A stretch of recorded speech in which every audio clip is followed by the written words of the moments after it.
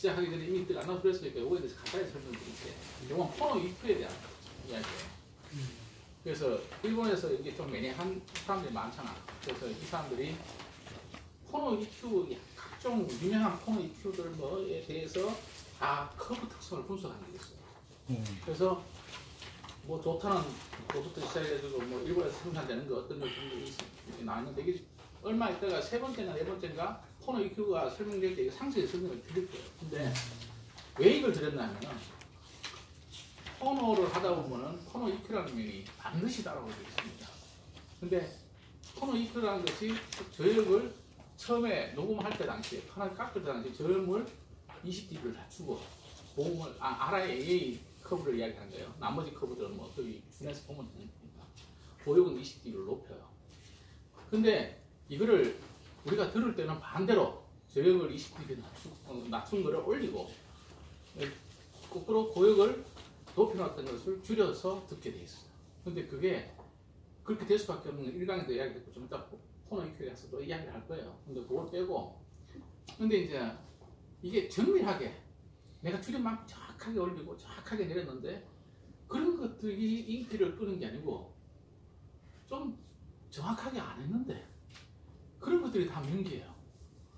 이걸 내가 오늘 드린 거는 폰의 EQ가 다시 설명할 거예요.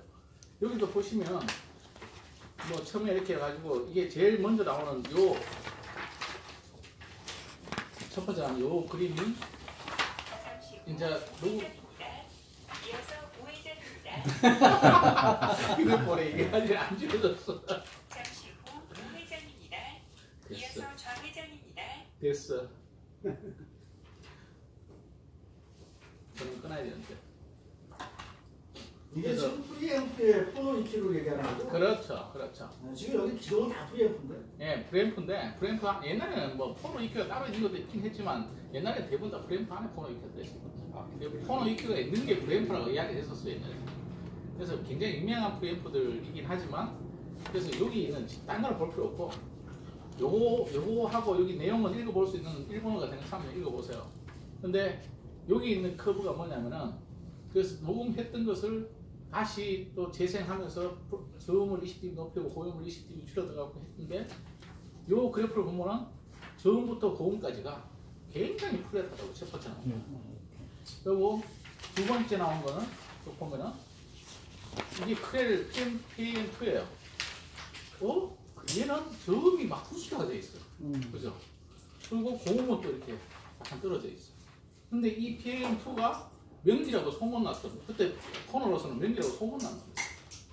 이 저음은 더 높았어. 그 고음은 약간 슬쩍 죽었고 이걸 얘들이 의도적으로 했는지 아니면 하다 보니까 이렇게 된지 몰라도 이렇게 삐뚤어한 것이 도리어 명기라고 소문이 난 겁니다. 그리고 이 세 번째로 보면은 얘는 도리어 이게 HNS가 어딘지 모르겠어. 하여튼 뭐 이렇게 돼 있는데 저음이 더 줄었어. 그리고 고음, 고음 쪽이랑 이게 좀 관계없는데 여기에 해설을 보면은 공포스럽다라는 내용이 음. 비슷하게 들어있어요. 고요음이 좀, 좀 올라가서 그런가? 아, 저음이 없으니까. 저음이 없으니까. 어. 그래서 오늘 내용하고는 좀 저, 저 뒤쪽 이야기지만 살짝만 보고 갑시다. 이왕이면은 저 이거 스캔 받느라고 시간 많이 갔다니까. 여기 세 번째로 어, 산수이 C2301 산수이도 보면 저기 살짝 올라가고 그렇게 됐죠. 저 고음 쪽도 중음보단 고음 쪽이 살짝 올라가고 이 산수이도 은근히 이게 토너 이렇게 소리 좋다고 소문난 놈이에요 이거. 그래서 이런 것들을 이렇게 보면 회사는 유명하고 이게 정밀도가 칼같이 맞아서 뚜렷한데 뚜렷한 것도 인기가 없어. 이 말은 다른 것들도 이렇게 보시면 제일 마지막에 가면은 그 바란티 세븐이야. 그 이면 바란티 세븐 봅시다. 저기 얼마나 좋습니까? 제일 마지막 거, 제일 마지막 장. 저음이 막풍 뛰었죠? 제일 마지막 장. 음.